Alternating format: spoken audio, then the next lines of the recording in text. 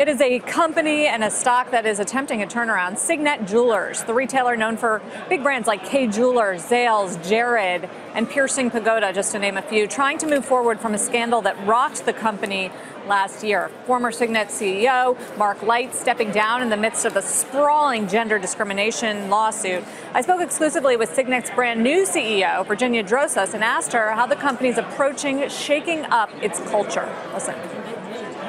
Signet is uh, on, now on what we call the path to brilliance. It's a transformation plan, a bold plan to really help us redefine what it means to be the category leader. We launched it last month at our earnings call. And I'm pleased to say that we're already seeing some green shoots uh, of positive growth from that. Our Zales brand, for example, has now two quarters in a row of positive comps that we've been able to report. Um, so we're beginning to get the company back on track, I think. It's going to take some time, but we're focused on customer first, building a truly seamless omni-channel experience, and really, as you said, changing our culture to be one that's more agile and efficient. When I talk to investors and analysts about this company, I hear two narratives. One, it's a financing company, and that's a hard business to be in. And two, it's a mall business, and that's an even tougher business to be in right now with the trends we've seen in retail. How do you combat those narratives? Well, I define our company differently. We're a company that really delights consumers by helping them celebrate life and express love. We're, we have the precious opportunity be, to be part of their most meaningful life moments. Uh, we do offer credit as an opportunity for our customers to be able to purchase their jewelry in the best way. And I'm very proud that we do that. Make our jewelry accessible to all customers, but we're, we are not a financing company. We have announced that we've outsourced our credit, uh, and so that's off of our balance sheet, and we're single-mindedly focused on being the most trusted, most innovative, most customer-focused jewelry company on the planet. How exposed are you to the mall? We still have a broad footprint in high-performing malls, uh, and that's a very good thing. We have, over the last number of years, been very proactive in our real estate strategy. Uh, in fact, we closed a couple of hundred stores last year. We've announced we'll do the same this year.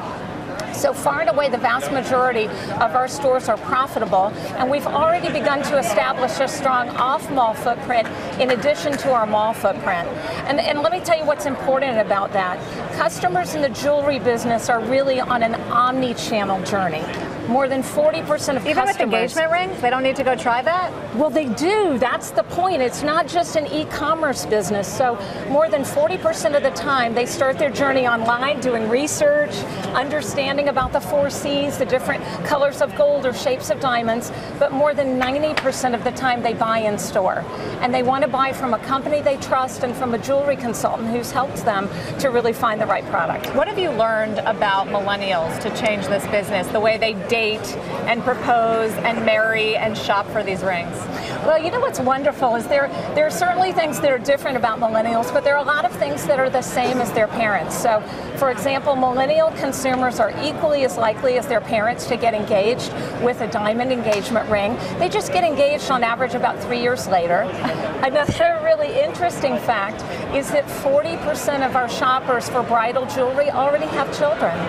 So they are less linear path typically than their parents were, but that to me is a disruptive opportunity for us. I mean, how do we how do we make jewelry available, maybe even in customers' homes to, with a bridal concierge service, something that can help make their lives easier.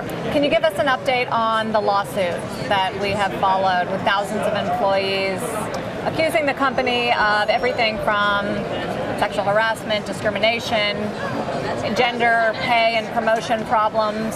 Yeah. What do we need to know? Well, I, of course, Sara, I can't speak directly about ongoing litigation. That that's just not possible. But what I can say is that it's very important to me to lead a company that's focused on integrity, respect, equal opportunity for all people, and really has diversity and inclusion at the core of who we are. It's part of who I am as a leader. I have a track record my entire career of building diverse teams And I know because I've engaged in the data that Signet very clearly has equal opportunity. We pay women equally for doing the same job with the same level of experience as their male counterparts. I'm very confident. You've also brought some really high power females to the job, to the board, inside the company.